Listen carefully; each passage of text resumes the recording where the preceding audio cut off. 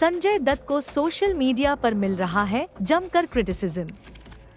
संजय दत्त ने फ़ैन को दिया धक्का और उनका ये रवैया बना उनके ट्रॉल का कारण। दरअसल संजय दत्त को एयरपोर्ट पर स्पॉट किया गया। जहाँ तक संजय दत्त के एयरपोर्ट लुक की बात करें तो वो यहाँ नज़र आए पिंक कलर के शॉर्ट कुर्ते और कार्गो पैंट्स में, जिसमें वो काफ़ी स्टाइलिश लग रहे थे। लेकिन एयरपोर्ट से उनकी जो तस्वीरें और वीडियो सोशल मीडिया प्लेटफॉर्म पर वायरल हो रहे हैं, उन्हें जमकर ट्रोल किया जा रहा है। दरअसल, एक्टर के साथ सेल्फी लेने की कोशिश कर रहे एक फ़ैन को धक्का देने के लिए उन्हें ट्रोल किया जा रहा है। वीडियो में संजय दत्त रुककर तस्वीरें खिंचवाने के मूड में नहीं दिखे और उन्होंने पैपराजी से कोई बातचीत नहीं की।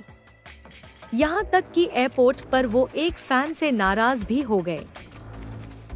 चिड़े हुए संजय को फ़ैन को दूर धकेलते हुए देखा गया। हालाँकि, उन्होंने शांति बनाए रखी और जल्दी से अपनी कार की ओर चल दिए। संजय दत्त के प्रोफेशनल लाइफ की बात करें तो एक्टर रवीना टंडन, मिथुन चक्रबोर्ती सन्नी देओल और जैकी श्रॉफ के साथ फ़िल्म बाप में नज़र आएँगे। उनके पास अक्षय कुमार के साथ वेलकम टू द जंगल भी है।